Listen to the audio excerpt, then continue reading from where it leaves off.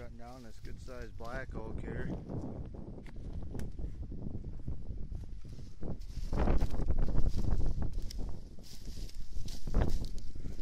It's a little rotten.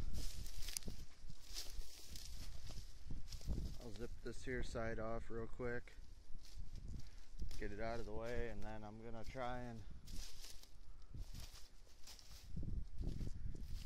hopefully miss that nice little maple there. Put it right next to that stump mound there, or even on it. I guess it don't matter as long as it's over there.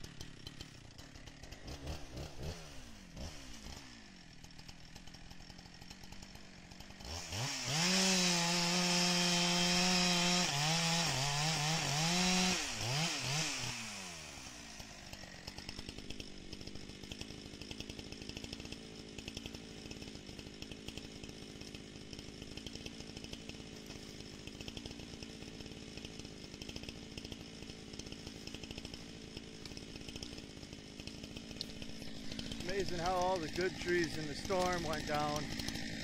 Somehow this thing stayed standing. You see that a lot out here. A lot of trees you wouldn't imagine that would blow down or down and the ones that should be down are still standing up yet.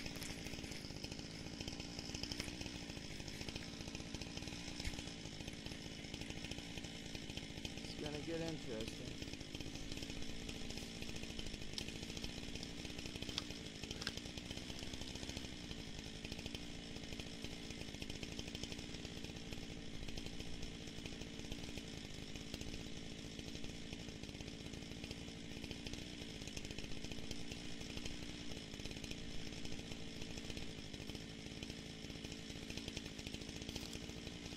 There's no holding wood in that thing go where it wants to.